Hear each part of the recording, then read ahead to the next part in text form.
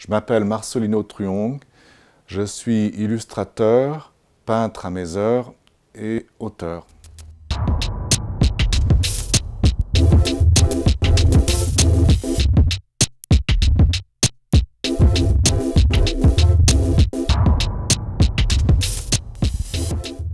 Oui, je viens d'une famille de, profs, d'intellectuels, d'érudits, euh, surtout mon père.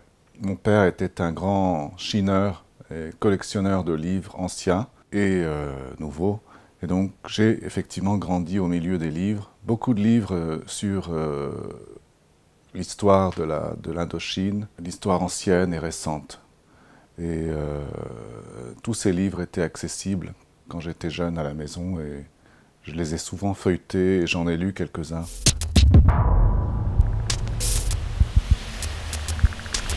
Enfant à Saigon, j'ai le souvenir euh, très net d'avoir lu beaucoup euh, deux choses. mes parents avaient acheté une, Bible illustrée, la Bible en images, parue chez, chez Desclés et Brouwer en France en 1953. Je l'ai retrouvée par hasard. Nous, on, a lu, c'était une traduction de l'anglais qu'on a lu en français, nous. Donc, cette Bible illustrée, je l'ai beaucoup lue, ça m'intéressait. Mais on lisait aussi euh, deux albums reliés d'une publication américaine qui s'appelait les, Classics Illustrated. C'était donc des grands classiques de la littérature internationale, mais euh, faits en bande dessinée et en anglais. Donc on avait acheté ça pendant notre séjour aux États-Unis à la fin des années 50 et on avait rapporté ça euh, avec nous à Saigon. Et ça, c'est mes premières lectures. Classics Illustrated. Donc très souvent, les grands classiques comme Robin des Bois ou euh, Ivanhoe, je ne les ai pas lus dans la version originale, je n'ai lu que la version adaptée en, anglais et en, bande dessinée. Vers l'adolescence, j'avais euh, une affection particulière pour des gens comme Saint-Exupéry, J'aimais bien ces auteurs euh, humanistes des années 40, euh, 50, euh, et aussi Camus, des choses comme ça. Je dirais l'humanisme de ces auteurs, qui était présent dans beaucoup, dans, une, une, grande part de la littérature française de l'époque, cet humanisme-là m'a beaucoup parlé. À partir de l'âge de 16 ans, mon père m'encourageait à lire aussi bien les, les auteurs de gauche que les auteurs de droite il me disait, euh, pour te faire une, opinion, il euh, faut que tu lises les deux. Et je crois qu'il avait raison.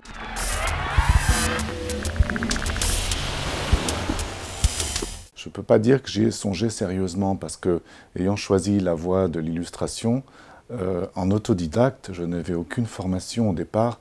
Il m'a fallu des années de travail acharné pour acquérir une certaine aisance en dessin. Et pendant des années, j'ai mis de côté euh, l'écriture, je lisais bien sûr, mais je, ne me sentais pas mûr pour écrire. C'est seulement environ un peu plus de dix ans après euh, mes, débuts que j'ai commencé à m'autoriser à écrire des petits textes. Chaque année, je, produisais un album jeunesse. Euh, alors le texte tient en deux pages à quatre, hein, mais c'est souvent un texte qui demande beaucoup de travail, d'épure. C'est donc petit à petit que je me suis tourné vers l'écriture et que j'ai eu envie d'écrire la partition avant de la jouer. Parce que quand on est illustrateur, on passe beaucoup de temps à illustrer les textes des autres, et c'est très noble, c'est parfaitement bien, mais il arrive un moment où on a envie de temps en temps d'écrire la partition avant de la jouer.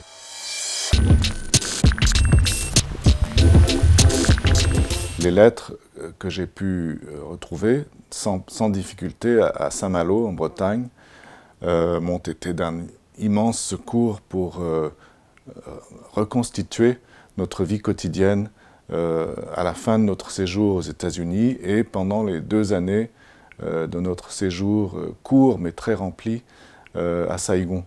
Sans ces lettres, j'aurais été en difficulté parce que je n'avais que six ans quand nous sommes partis. Donc j'avais des, souvenirs, mais beaucoup de lacunes aussi. Mes souvenirs du Vietnam étaient semblables à ceux de quelqu'un qui se réveille d'un rêve euh, et qui, essaye de se remémorer ce, rêve et qui se souvient de 10% de ce songe. Même chose pour moi. et grâce aux lettres de maman, qui étaient très détaillées, où elle donnait à la fois des nouvelles de son quotidien, de, mère de famille nombreuse, d'épouses de, hauts fonctionnaires, et puis elle donnait également énormément d'infos sur le, travail de son mari, et aussi la toile de fond politique de l'époque et, militaire. Par exemple, elle prévenait mes grands-parents de ne pas s'inquiéter, qu'ils avaient sans doute entendu parler de tel ou tel attentat, puisqu'on en parlait dans la presse en France, mais de ne pas s'inquiéter parce que nous étions passés au travers de tout ça indemnes. la lettre euh, est une source vraiment importante de, de renseignements sur l'histoire. D'ailleurs, les historiens d'aujourd'hui se penchent énormément sur le courrier euh, des gens. Euh, souvent, c'est là qu'on trouve euh, l'état d'esprit des gens. Ce n'est pas seulement la lecture des traités internationaux ou des documents officiels.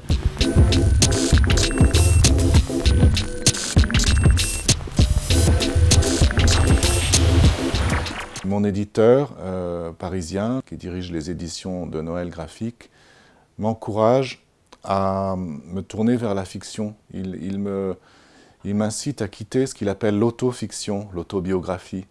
Euh, je le fais un petit peu à contre-coeur, mais en même temps, je crois qu'il n'a il pas tort. Il faut que je me que je m'empoigne avec la fiction. Et je suis donc là, au, pied du mur. Euh, j'y pense énormément depuis plusieurs mois. Et j'ai envie de faire une, BD de fiction sur la guerre d'Indochine, comme par hasard. Euh, parce que c'est un sujet dont on parle peu en France, qui est encore un sujet qui fâche. Et justement, j'aimerais bien mettre les pieds dans le plat.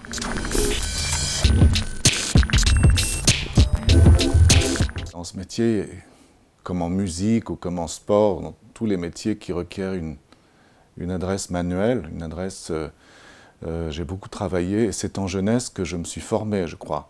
Pour l'instant, je m'en éloigne un tout petit peu parce que, parce que j'aborde par mes romans graphiques des sujets assez complexes où il y a beaucoup de politique, beaucoup d'histoire, beaucoup de violence parfois. Non pas que j'en fasse l'étalage, mais je, je, relate des faits violents, ceux de la décolonisation. Donc on peut le faire en jeunesse, il y a des gens qui le font assez habilement. Mais la jeunesse euh, est formidable, la littérature pour la jeunesse est formidable, mais on est quand même un tout petit peu contraint.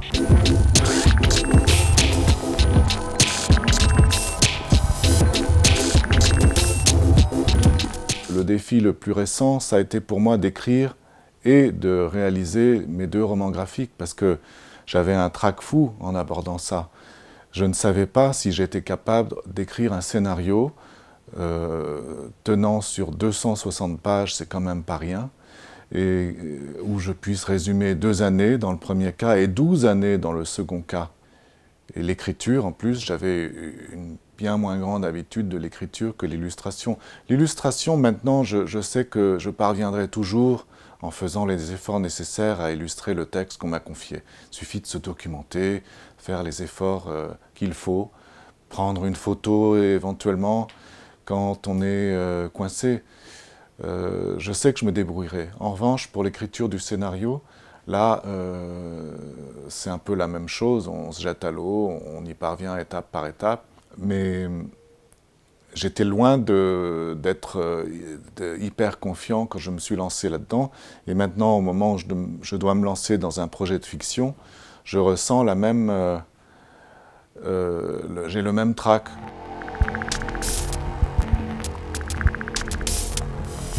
Depuis que je suis illustrateur, c'est vrai que j'ai orienté mon travail beaucoup vers euh, l'Asie et le Vietnam plus particulièrement, parce que euh, c'est un domaine où on aime bien vous cerner, en tout cas vous donner une, étiquette, puis j'ai tout fait pour aussi, parce que j'estimais que c'est un domaine où, je me suis pas mal documenté, puis j'ai un vécu aussi, je suis un métis, moi, mon père était vietnamien. Donc j'ai la prétention de connaître un tout petit peu certaines choses en Asie, je le dirais vite, euh, surtout le Vietnam, parce que l'Asie c'est grand. Je continue à creuser toujours le même sillon. Euh, actuellement, c'est donc le sillon euh, histoire du Vietnam, parce que là aussi, il y a tellement de choses à... Il y a tellement de témoignages à entendre. on n'est jamais rassasié et on est toujours surpris par ce qu'on entend. J'ai beaucoup d'échanges avec des Vietnamiennes et des Vietnamiens de France, parfois plus âgés que moi, qui me surprennent toujours par ce qu'ils me racontent.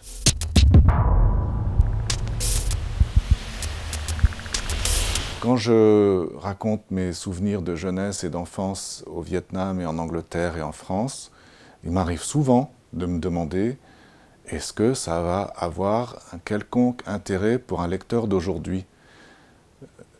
Il se trouve que je fais souvent des, rencontres euh, dans les, dans les, lycées maintenant avec ces deux, ces deux livres, grâce à ces deux livres.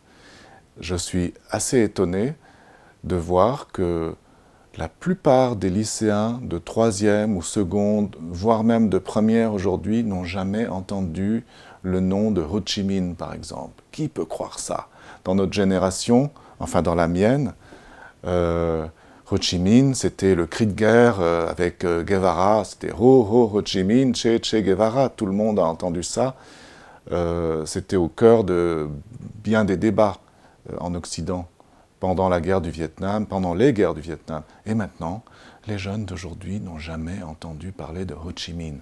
Donc, je note ça au passage et, je, dois redoubler euh, de précaution quand j'aborde un sujet en me disant, bon, ben, le lecteur euh, moyen n'a jamais entendu parler de tout ça, donc il va falloir trouver le moyen de rendre la chose attrayante et compréhensible.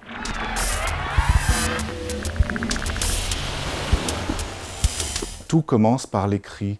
Et les grands idéologues de notre siècle euh, ont commencé par écrire des, volumes entiers euh, que peu de gens ont lus d'ailleurs, mais dont la pensée, dont l'idéologie s'est efforcée, parfois brutalement, de modeler nos civilisations et de transformer notre société.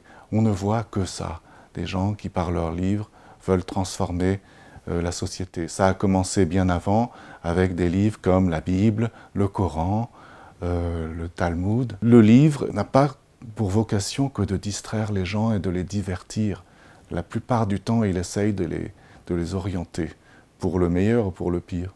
Donc oui, je crois à la puissance du livre. Il n'y a qu'à voir les réactions que suscitent certains livres. Les gens sont prêts à tuer euh, les auteurs de certains livres. Donc on manipule de la, dynamite parfois euh, quand, on, quand on écrit.